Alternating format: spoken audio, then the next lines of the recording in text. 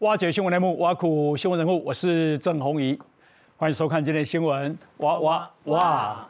好来啊，我们今天邀请到的来宾啊，第一位呢是退休的刑警高仁和高刑警，红衣大哥好，大家好。好，另外是啊精神科医师潘建志潘医师，红衣大哥好，大家好。好，以及啊婚礼顾问 Vivi，郑大哥好，大家好。啊两性专家 Cynthia，嗨，大家好，我是辛西亚。还有媒体人狄志伟，郑大哥好，大家好。好，欢迎五位啊。我们今天主题是离婚后男人的笑容啊。所以难怪今天男来宾比较多。请拍一下，请拍一下高人和。感谢主，感谢主，感谢主，感谢主，刚小主。好，那么啊，这个因为为什么这个新闻呢？是啊，好莱坞的影星啊，班艾佛列克啊，班艾弗列克就是他了哦，就是他。我相信大家对他很熟悉，因为他这个常演电影，对不对啊？蝙蝠侠。啊，好好，班艾弗列克。那他跟啊，他老婆珍妮佛罗培兹，哈，这个在也很有名，对，巨星巨星哦。他们在二十年前啊，啊，两个人其实是男女朋友，而而且啊，已经谈到要结婚了。可是后来啊，婚礼突然取消，就分手了。嗯，好。那可是，在二零二二年啊，八月二十号。他们又重修旧好，二十年哦，又结婚了。然后，可是婚姻呢，只维持了两年。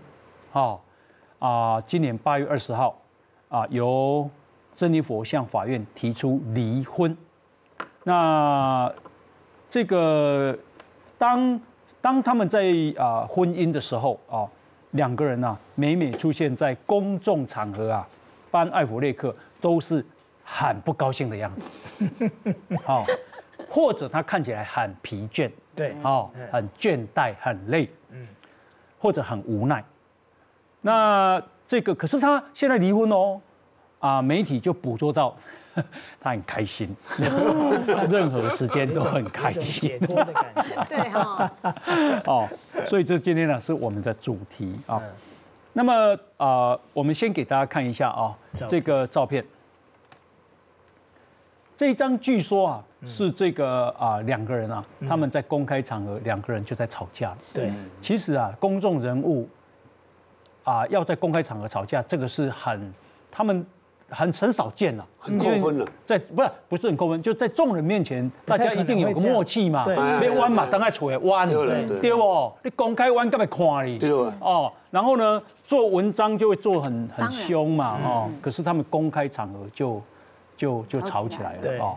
那老实讲，一般吵起来，有时候有一方也会让一下，是，就是说啊，喝了喝了喝了，等下那个供啊，类似这样哈。可是两个好像都不相让。嗯。然后呢，说啊，他跟珍妮佛罗培兹在一起的时候啊，这个班艾弗列克看起来呀是疲惫又苦涩。好，来来来，先请教一下啊，志伟，是真的这样吗？呃，我觉得哈，因为他们这一对啊，其实分开十七年之后又再结婚。对，当时结婚的时候就完全不被看好的。好，因为班艾弗列克他自己问题很多，他又酗酒，他多次都进那个乐界哈，所以所以人家就觉得说，J Lo 你何苦要去收一个这样子的人呢？所以当时他们两个就是在重逢要结婚。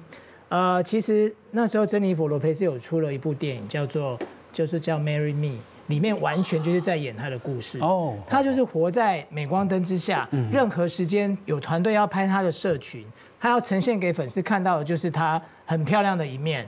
那他在里面呢结了三次婚，就是在讲他现实生活中他也结了三次婚。班艾弗列克是他的第四次。二零二二年他们那时候是订婚，但是后来就是没有结成哈。所以如果要算那个无缘的。应该加上这个班艾弗列克这次，应该 suppose 应该是五次啦。啊，对，所以当下他们两个要结婚的时候，就呃，好莱坞很多人都不看好，果然这个婚姻维持不到两年。嗯，那个时候要结婚的时候，就传出很多呃，J Lo 他提出了条件，我先跟大家讲一下哈，珍妮佛罗培兹啊，她在美国哈，其实她的地位就仅次于马丹娜。如果我们只以那个已经出道三十年以上的，就是说她的唱片销售，她就是输给马丹娜跟。Michael Jackson 而已，所以你可以知道说他的地位是很高的，而且他是影歌式三期的艺人。到目前为止哦，就是他的唱片的销售记录还是排在西洋歌手的前五名。那他累积的财富到现在是一亿一千万美金。假戏的哦，所以班艾弗列克差他是差很大一截。他们两个结婚的时候呢，一起合买了一个非常。贵的豪宅六千万美金，嗯里面还有运动场、电影院，嗯十七间的浴室，三十间的套房，一起像没短了哈。丢啊！对，那这个钱先差个话，住那么大的房子，婚姻肯定都不幸福。你想想看，要叫一个人都不见得叫得到。家贵在温暖，不在大。是真的。那所以说，这个房子当时也有传出是 J Lo 买单的，因为班奈弗列克他的他的产值跟他的片酬。根本差他一大截。因为那个珍妮佛罗培兹叫搬这样子，还是叫不到。对，有一天搬进来了，说：“我刚刚讲韩语，你怎么没听到？” 我都没听到。对，所以他们之间的地位就是不对等的嘛。那你想想看，这么一个强势的女强人哦。呃，曾大哥，你刚刚看到那个照片啊，其实是大概呃差不多三个月前，他们出席一个珍妮佛罗培兹新演的一部电影的首映会。嗯，那这个哈，有人是把它拍成影片放在 TikTok 上面，哦，然后有所谓的行为专家去解读他们的唇语，然后把他们两个在吵什么，把它。翻译出来了，他是在讲说，珍妮佛罗培兹就问巴恩弗列克说：“我穿这样子会不会太露了？嗯因为它上面就是哦这样子这样子很露嘛，就是他的因为翘臀针除了翘臀之外，还有他的丰胸嘛。嗯然后巴恩弗列克一开始是跟他说：‘亲爱的，不会，你这样很性感，真的吗？我觉得好像太露了，你要不要靠近我一点，帮我遮一下？’嗯，那巴恩弗列克就很不耐烦的觉得啊，你自己要这样穿，现在又要我配合你，嗯，而且你靠近我一点，你到时候亲我，他就喜欢。”他在面前要展现他们很恩爱的，你要亲我也比较方便啊。他好吧，只好配合。那配合完之后就是安德烈五华裔啊哈，而且完了之后你知道，因为他不是主角嘛，他没有演这个戏啊，他只是陪他一起出席嘛。好了，你的工作结束了，他就一个眼神，你可以你可以下去了，就换其他人上来跟他合照。那这时候就不用有人去遮住他的胸部吗？对，所以人家就会觉得说。巴艾弗列克这段婚姻其实真的，他是一个要被控制的傀儡，因为他们结婚前也传出，就是当然这个我觉得珍妮佛罗培兹没有去证实这件事，只是他曾经在一个 talk show 上面有人问他说，因为如果有看过《Marry Me》这部电影的人就可以知道他是 on schedule 的人，嗯，因为那部戏就是在演他自己，他任何事情就是要分分秒秒都要控制好，所以他是一个非常。